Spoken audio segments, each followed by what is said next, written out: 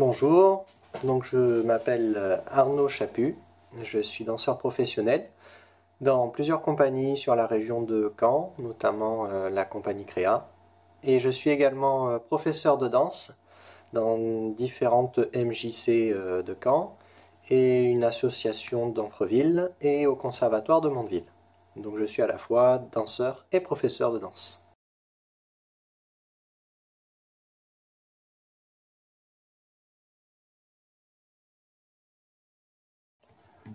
Alors danser, c'est euh, s'exprimer. C'est s'exprimer comme si on, parlait avec euh, sa bouche, avec des mots. Sauf que là, on va s'exprimer avec son corps. C'est le, corps qui va, parler. Et donc, euh, on va pouvoir parler tout seul ou parler avec d'autres partenaires, danseurs. Donc ça va être les mêmes règles que dans une discussion, dans un dialogue. soit on, essaye de ne pas couper la parole, on parle chacun son tour. Soit euh, comme quand on peut chanter, on peut chanter à l'unisson, on peut danser euh, tous ensemble, ou chacun son tour, en question-réponse. Euh, donc voilà, danser c'est s'exprimer, exprimer des idées, des sentiments, si on se sent triste ou si on se sent heureux, on ne danse pas de la même manière et on va transmettre un message euh, au spectateur qui va, qui va nous observer, qui va nous regarder danser.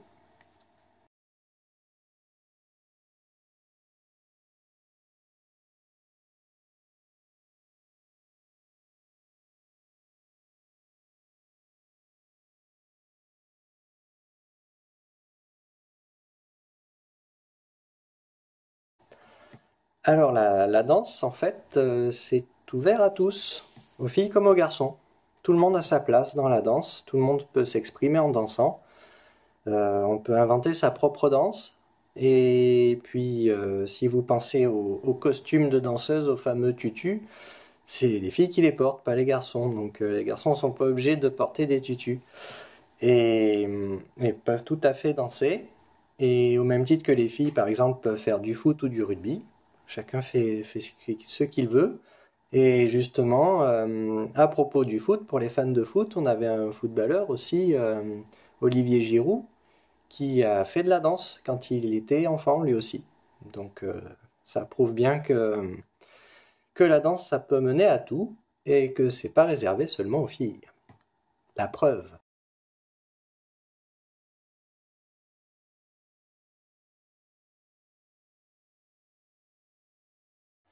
Donc moi j'ai commencé la, danse à l'âge de 16 ans. J'ai commencé euh, avant par euh, faire du théâtre euh, au collège. J'aimais beaucoup monter sur scène et m'exprimer devant du public. Et puis après j'ai découvert la danse en allant voir un spectacle de fin d'année de ma petite sœur qui était dans une école municipale. Ça m'a beaucoup plu. Euh, je me suis inscrit dans l'école et j'ai essayé euh, la danse classique, contemporaine et la danse jazz. J'ai essayé les trois styles euh, les plus, les plus connus. Ça m'a beaucoup plu et après avoir demandé conseil à mes professeurs pour savoir si je pouvais en faire mon métier, donc ils m'ont encouragé et ils m'ont orienté vers une école une école privée avec un plus haut niveau. Euh, donc dans cette école, j'avais deux cours de danse par jour, du lundi au samedi, et j'avais des stages euh, avec des profs de l'Opéra de Paris également, plusieurs fois dans l'année. Et puis après, euh, je suis rentré au Conservatoire supérieur de Lyon, où là j'avais, je dansais toute la journée, tous les jours, et j'avais des cours aussi de musique, d'histoire de la danse, enfin j'avais une formation complète pour devenir euh, professionnel. On a commencé à travailler avec des chorégraphes euh, qui, qui sont les, les personnes qui construisent les, spectacles, les chorégraphies de danse, les spectacles de danse. Et puis après, euh, donc je, je, suis devenu danseur professionnel en rentrant dans des compagnies, en faisant des auditions. Donc c'est des, espèces de concours où on se montre au, chorégraphe pour savoir qui il va choisir. Dans ces auditions, Il y a souvent beaucoup plus de filles que de garçons, puisqu'il y a beaucoup plus de filles qui dansent que de garçons. Donc il y a plus de concurrence pour les filles que pour les garçons. Donc au final, euh, ben, devenir danseur professionnel, oui, c'est assez difficile. Ça demande des années de formation et de pratique. Euh, il faut s'entraîner tous les jours. Il faut, euh, comme un musicien qui va faire des, gammes et des exercices tous les jours avec son instrument, nous en danse, on, s'occupe de notre corps, qui est, euh, qui est notre instrument de travail en fait. Et donc voilà, c'est un métier difficile, mais que l'on fait parce que c'est notre passion. Et ça, vivre de sa passion, c'est euh, c'est quand même ce qu'il y a de plus beau. C'est ce que je souhaite, euh, vous souhaite à tous, de trouver votre passion, de pouvoir, euh, de pouvoir vivre avec votre passion ou de votre passion.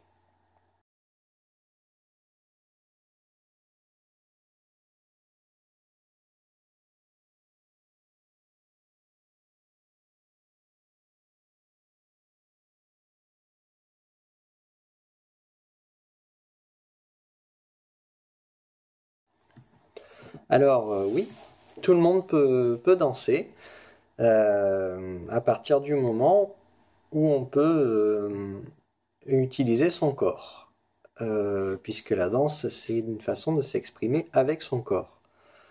Alors à part peut-être les, personnes qui malheureusement sont complètement handicapées, ne peuvent pas du tout bouger leur corps, il faudrait réfléchir à des, moyens pour la faire danser mais on peut toujours trouver des solutions. Donc on pourrait considérer que tout le monde peut danser. La première euh, règle, c'est d'être à l'écoute, donc euh, de bien écouter euh, les consignes d'abord pour pas faire n'importe quoi, et puis d'écouter aussi la musique puisque la musique est très liée à la danse. Donc même dans le cas de personnes qui malheureusement pas entendre, euh, une personne qui serait sourde. Euh, la musique euh, fait quand même vibrer le corps. Quand on écoute de la musique très fort, on, sent que ça vibre dans son corps. Donc même une personne qui, qui ne pourrait pas utiliser ses oreilles pour entendre la musique sentirait les vibrations de la musique dans son corps. Et puis, et puis voilà, donc à partir de là, il faut écouter les consignes et puis suivre la musique et, et puis euh, tout le monde euh, peut s'exprimer, tout le monde peut danser.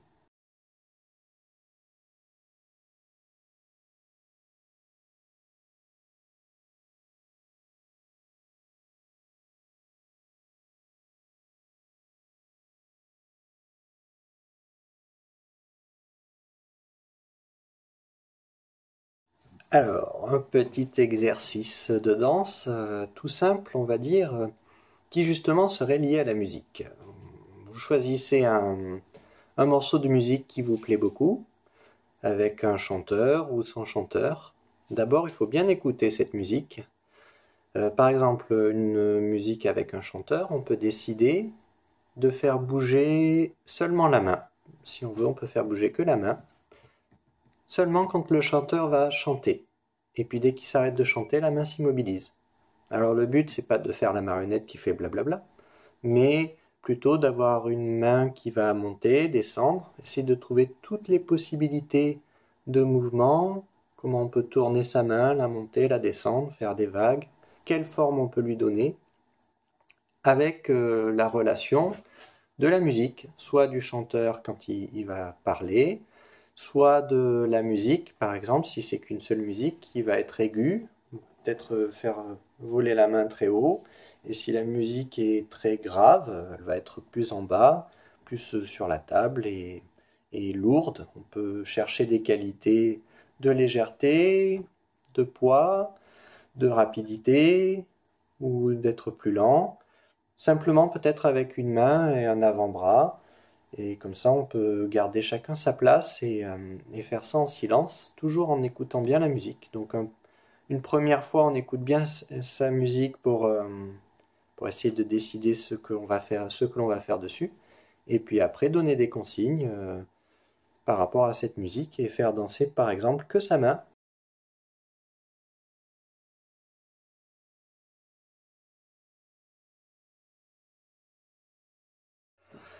Et eh bien pour finir, si je devais donner un, mot pour la danse, moi je choisirais l'équilibre.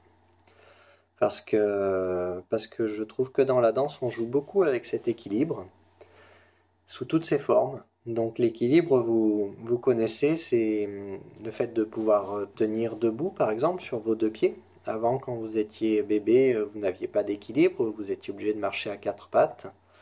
Et maintenant, euh, sur ces deux pieds, on tient en équilibre, on peut courir, et on peut même aller jusqu'à tenir en équilibre sur un, seul pied, sur le bout des orteils. Ou on peut s'amuser aussi à, perdre cet équilibre, à tomber, et donc, euh, cette notion de cet équilibre, on le retrouve euh, sous plusieurs formes dans la danse. On, trouve un équilibre avec la musique aussi. Euh, quelle place on laisse à la musique? Est-ce qu'on danse plus fort que la musique? Est-ce que la danse est plus forte que nous? La musique est plus forte que nous? On essaie de trouver un équilibre entre les deux. Quand on danse à plusieurs aussi, on essaie de trouver un équilibre, euh, comme je vous disais au départ, comme dans un dialogue, on laisse la parole à chacun, euh, ou on danse tous ensemble. donc il y a un équilibre à trouver avec les autres, avec la musique, avec son corps. Et quand on a expérimenté, euh, on a cherché toutes les possibilités, à la fin, on se trouve au milieu de tout ça, donc on se retrouve euh, en équilibre. Et c'est un, mot qui me plaît bien pour, euh, pour conclure. L'équilibre.